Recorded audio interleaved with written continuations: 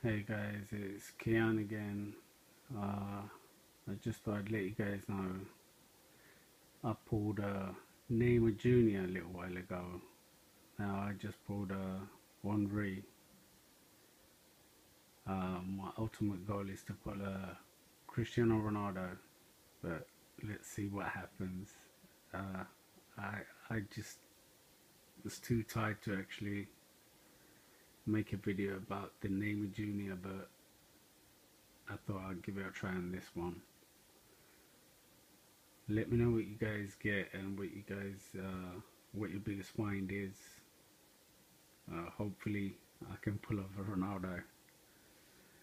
Uh, please sub and like. See you soon.